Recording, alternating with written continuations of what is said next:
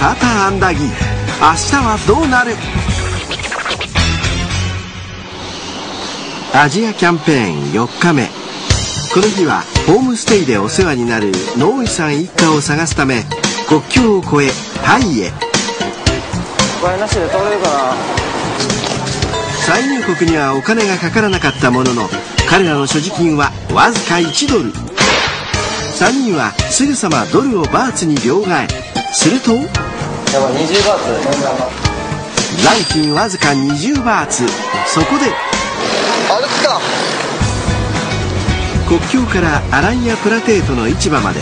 3人は歩いて向かうことにした。1時間後。6キロ離れた目的地に到着。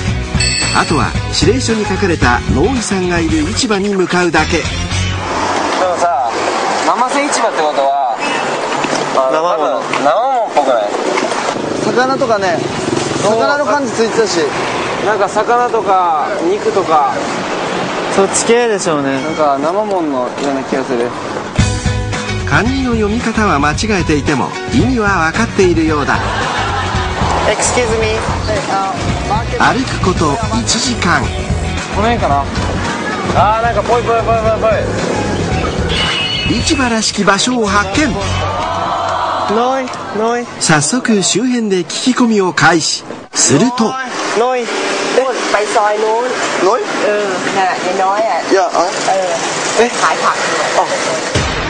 ノイさんが近くにいるらしい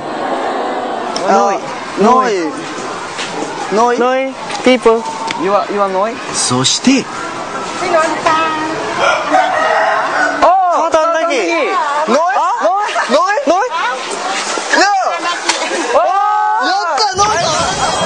を発見今回3人がホームステイさせていただくのは生鮮市場で働いている野井さんのお宅。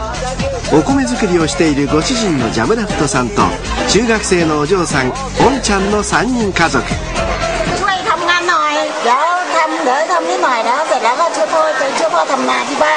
オッケーオッケーというわけでサーターアンダギーのタイ文化1日体験ホームステイがスタート。まずはお父さんの車に乗せられた3人。朝から何も食べておらずお腹もペコペコ。ようやく食事にありつけるのかと思ったらうわ熱い熱い熱い熱い。熱っ田んぼに連れて行かれ田植えのお手伝い。うわ気温35度。炎天下での作業に彼らの体力も限界。終わった。やったーオッケー。うわオッケー午後3時。田植え終了。再び車へ。今度こそ食事にありつけるのかと思ったら夕方市場は書き入れ時タクメカパー。タクいらっしゃい。いらっしゃいパーパーパ3人に休む暇はなかった。ー？これ OK? これ OK すると突然のスコールが。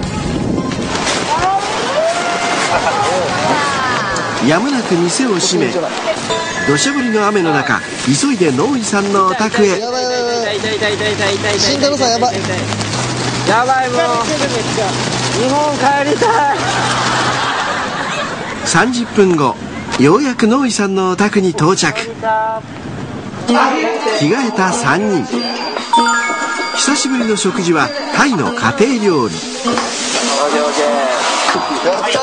さらにお酒も振る舞われ3人は上機嫌。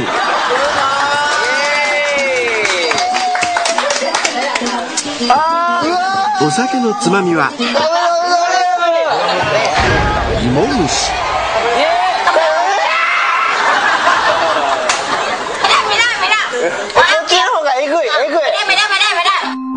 さすがにこれはごめんなさい。ホームステイのお礼に3人は自分たちの歌を披露。一緒に行きませんか？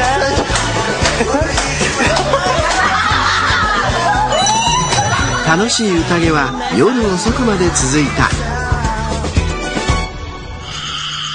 アジアキャンペーン5日目。朝3時半。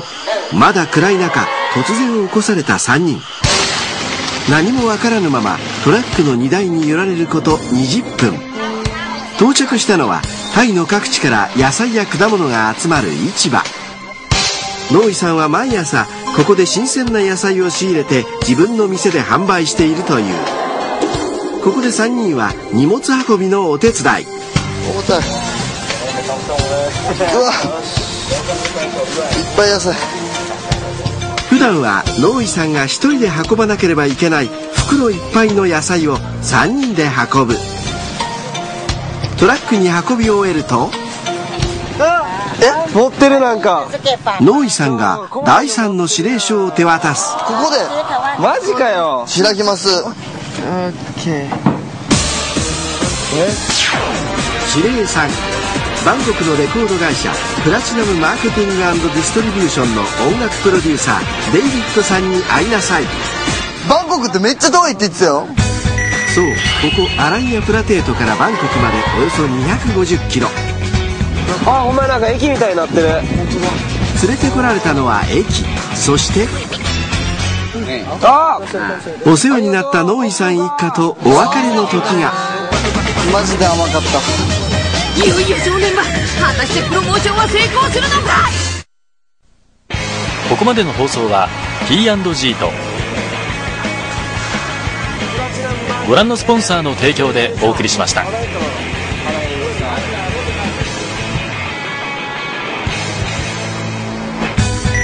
アライアプラテートからおよそ250キロバンコクのレコード会社を目指す3人連れてこられたのは駅そしてあありがとうコップンか3人にお金がないことを知っていたノイさん一家がお手伝いのお礼にバンコクまでの切符を買ってくれた พี่น้องเขารักนะ ถ้ามีโอกาสก็กลับมาเที่ยวบ้านแม่อีก はい。 จ้ะ ねえねえねえありがと